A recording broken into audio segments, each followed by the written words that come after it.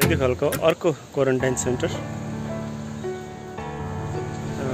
यहाँ बहिनी युपीबाट आउनु भएको बहिनी।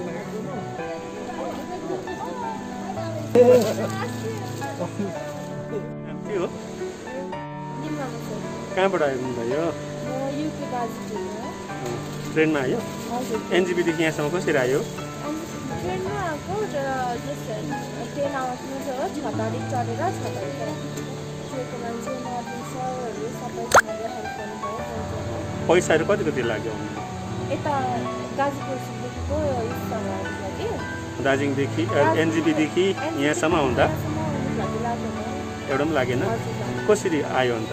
हजुर यहाँदेखिको हामीलाई सिलगढीदेखिको जिटिएकै मान्छेहरूले फिक्स गर्नुभयो। हजुर। अनि त्यहाँदेखिको दार्जिलिङ भानुभवनमा एक दिन राख्नुभयो। अनि हजुर। त्यहाँदेखिको चाहिँ फेरि उनीहरूले नै गाडीले यहाँसम्म यहाँ घरसम्मै ल्याइदियो। हजुर। तिमी कति दिन भयो यहाँ आएर बसेको? म दस एघार दिन। अहिलेसम्म तिमीलाई केही असुविधा छ। फिट छौ। हेल्दी छौ?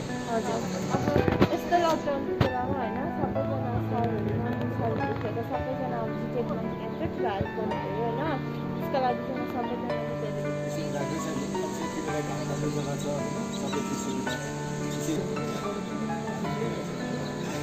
र यहाँ हुनुहुन्छ हाम्रो समाजको सेक्रेटरी शान्ति मिलन सङ्घ फेदी तपाईँ सेक्रेटरी सितिन शेर्पाज्यू गाउँले कोअपरेट गरेर है एउटा राम्रोसँगले राम्रो सोचमा राख्नुभयो।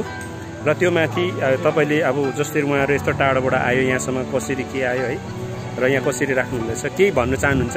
जानकारी तपाईँलाई। हजुर। उहाँहरूले भन्दा पनि जति पनि अब टाढोबाट बाहिरबाट आएको छ है उहाँहरूको अब यस्तो नराम्रो रोगहरू नहोस् अन्त गाउँलाई पनि कुनै दोष नहोस् भन्ने चाहिँ हामी चाहन्छौँ।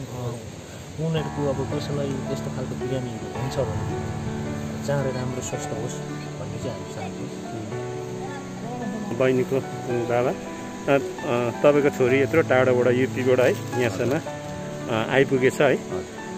राम्रोसँग आइपुगेछ। घरैसम्म उहाँलाई मतलब बिना पैसा आइपुग्यो भनेर अहिले भन्दै थियो है। र यस्तै धेरै कतिवटा कुराहरूमाथि तपाईँ के भन्न चाहनुहुन्छ? यसमा चाहिँ अब हामी चाहिँ भन्न चाहन्छौँ पार्टीले जहाँसम्म सहयोग गरेको तपाईँले पार्टी भन्नुहुँदैछ नि? हजुर।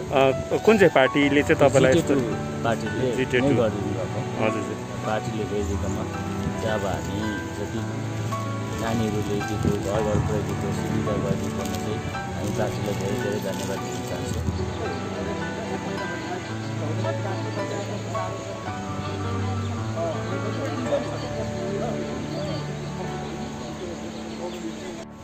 अलग्गै राख्नु भनेको उनीहरू उसले पनि उनीहरूको मानसिकतामा पनि के पर्छ भन्नुहोस् त? एक महिना अलग्गै बस्दा कोही मान्छे भेट्नु आउँदैन। अब मेरो पढ्नु तलबाट हिँड्ने मान्छे पनि यहाँ कोरोना लाग्छ भने भोलि सोसाइटीको लागि यो खतरा हुन्छ कि भोलि दिनमा कसैलाई पर्दा